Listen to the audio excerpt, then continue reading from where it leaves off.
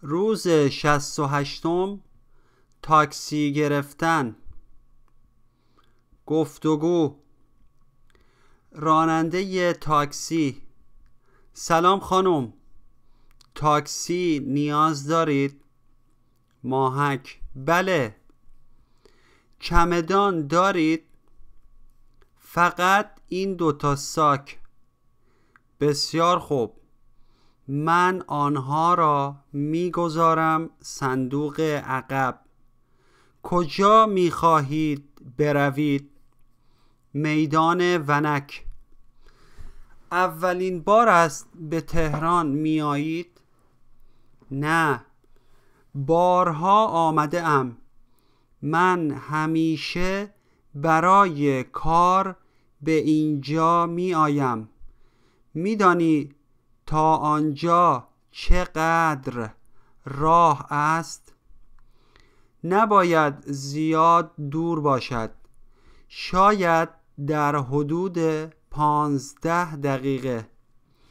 به نظر می رسد ترافیک خیلی بدی است. بله ممکن است جلوتر تصادف شده باشد. دستور زبان. میانوند در میان دو واژه می آید و واژه جدیدی می سازد آ مانند سراسر گرداگرد دمادم پای پیاپی ضرب المثل. صبر ایوب. صبر ایوب. زمانی که شخصی در زندگی بسیار سختی دیده باشد می‌گوید او صبر ایوب دارد. یعنی در مقابل سختی های زندگی صبور است. جمله های رایج چقدر طول می کشد ما را از اینجا به فرودگاه ببرید؟ ممکن است بگویید کرایه تا هتل چقدر می شود شعر بر آستانه تسلیم سر بنه حافظ که گر ستیزه کنی روزگار بستیزد حافظ ستیزه جنگ سر بنه تسلیم شو کلمه روز مسئله مسئله معنی. مثال استاد به ما یک مسئله ریاضی داد تا حل کنیم.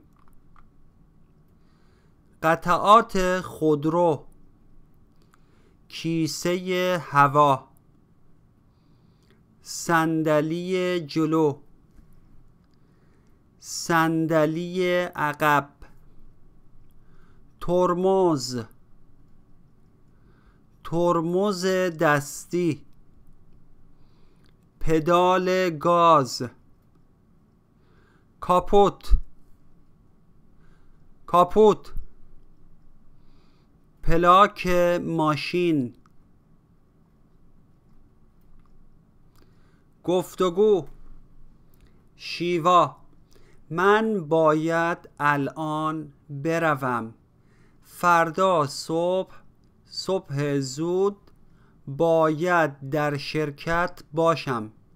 کیهان با چی می‌خواهی بروی؟ شیوا نمی‌دانم. فکر کنم با مترو بروم یا اتوبوس. کیهان نه آخر شب است. اجازه بده برایت یک تاکسی بگیرم. بسیار خوب. الو ببخشید. یک تاکسی می خواهم به نام پناهی. کد اشتراک چهار هزار و هشت. خیابان بهارستان می رویم ممنونم. لطف کردی. خواهش می کنم تاکسی حدود پنج دقیقه دیگر می رسد اصطلاح روز. گر صبر کنی ز قوره حلوا سازی. معنی با صبر کردن می توان به هدف رسید. خواندن. یاسوج یکی از شهرهای لرنشین و مرکز استان کهگیلویه و بویرحمت است. این شهر در جنوب غربی ایران واقع شده است. شهر یاسوج دارای اقلیمی سردسیری است و دارای آب و هوایی معتدل و متمایل به سرد.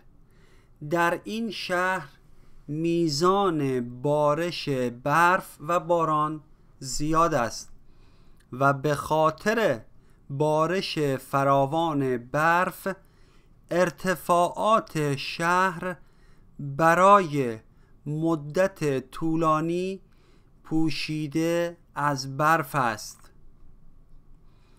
کلمات جدید. واژه. مقوله. هوشیار. گرداگرد. همه ساله. همدست مقدماتی. صبر. صبور ندا میخانه برخیز همه چیز ترمز کد اشتراک قوره همزمان اقلیم. معبود سردسیری مقاومت کردن متمایل قصد داشتن ارتفاعات قطب نما مقایر بودن نجاری.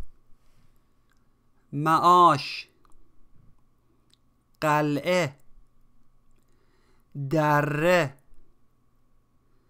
متعدد دیدنی ها بارش.